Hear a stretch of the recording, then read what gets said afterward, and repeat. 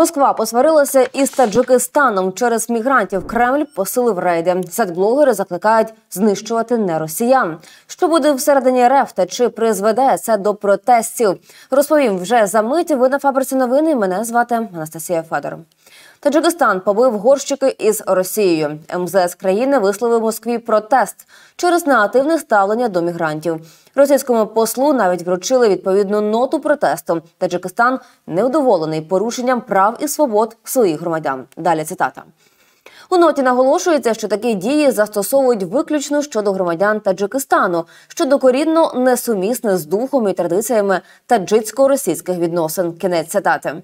Чим саме обурений Таджикистан? Справа в тому, що громадян цієї країни. Масово затримують у російських аеропортах. МЗС Таджикистану заявило про щонайменше 954 особи, яких зупинили у Внуково. Серед них є студенти, які навчаються в РФ. Третину затриманих після маринування на кордоні пропустили. Водночас ще 306 осіб російська влада внесе до списку тих, кого видворять із країни.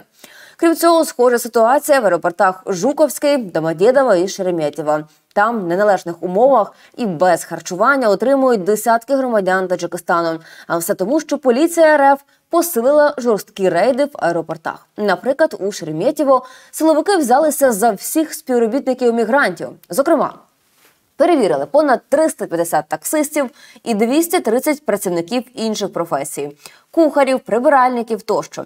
За даними російських медіа, поліція затримала сімох таксистів і 10 співробітників аеропорту. Їх звинуватили у порушенні режиму перебування в РФ і хочуть депортувати.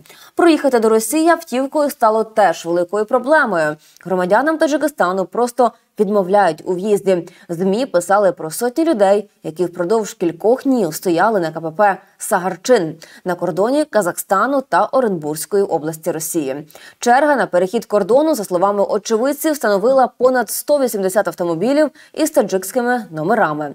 В МЗС Таджикистану підтвердили цю проблему і вже обговорили ситуацію з послом Росії Семеном Григорєвим.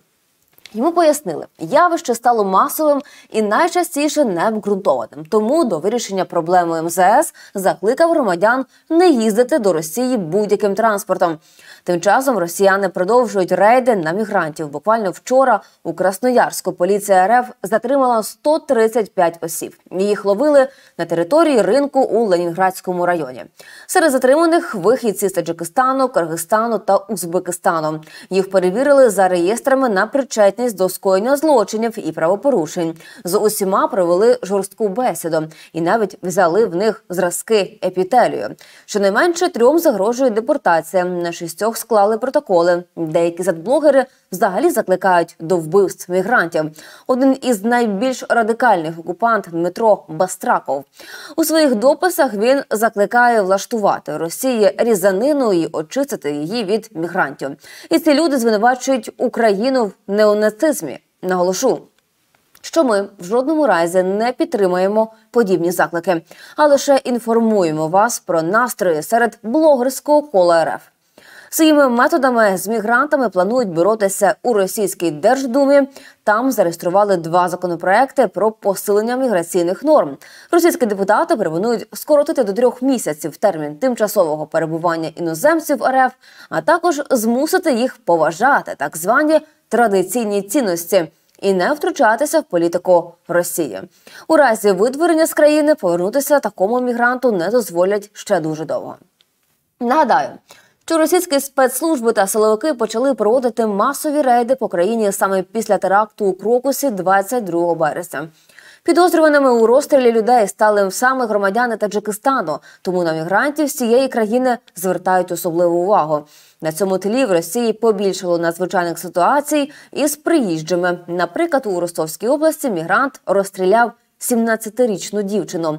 Російські телеграм-канали стверджують, що причиною вбивства став конфлікт на дорозі. А в Кронштадті мігрант з помсти розбив автомобіль своєї колишньої начальниці, після чого з обрізком залізної труби накинувся на перехожих. Причина конфлікту була у грошах. Тим часом російські політики хочуть звільняти від мігрантів навіть окупований український Маріуполь. Виявилося, що після повної руйнації міста армією РФ туди масово поїхали заселятися представники інших народностей. Це не сподобалось, зокрема, лідеру справедливої Росії Сергію Миронову. Що ж, схоже, вирішити цю проблему зможуть тільки сили оборони, вигнавши з окупованої землі усіх загарбників. Сподіваємося, цей день настане вже скоро. Якщо згодні, ставте вподобайку цьому відео і підписуйтесь на канал. Дякую за увагу і до зустрічі.